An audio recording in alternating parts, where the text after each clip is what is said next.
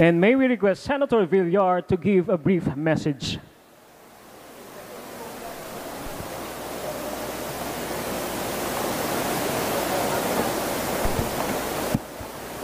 Magandang hapon po at maraming salamat po sa sa sa buong Pilipinas. Maraming salamat po at naging matagumpay ang ating eleksyon, ah, lalo na po ang ating COMELEC dahil sa inyong sipag at tiyaga naging ah, tahimik ang ating eleksyon pero sumisigaw naman ng gawa.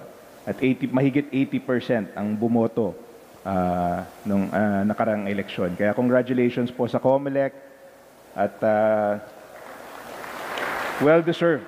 Uh, well deserved for uh, congratulations for a very job well done.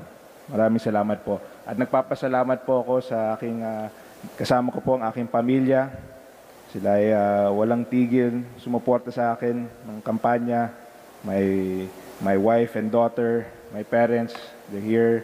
And of course, sa lahat na nagtiwala at sum- sumuporta sa akin ngayong eleksyon, Maraming maraming salamat po sa inyong lahat. At syempre ang aking mga uh, colleagues sa Senate, congratulations also.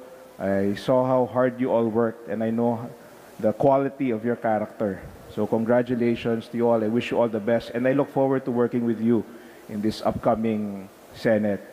At sana po tapos na po ang eleksyon. Uh, nananaw- nananawagan po ako sa lahat ng ating mga kababayan na sana po uh, lahat po tayo magkaisa at uh, magsama-sama, magkapit-bisig para sa ating bansa. Kailangan na kailangan natin ngayon dahil uh, natamaan na tayo ng pandemya and now is the time for us to really be unified, to work together as one and make sure that we build, build, build a country that the Filipino deserves. Maraming salamat po at mabuhay po kayong lahat.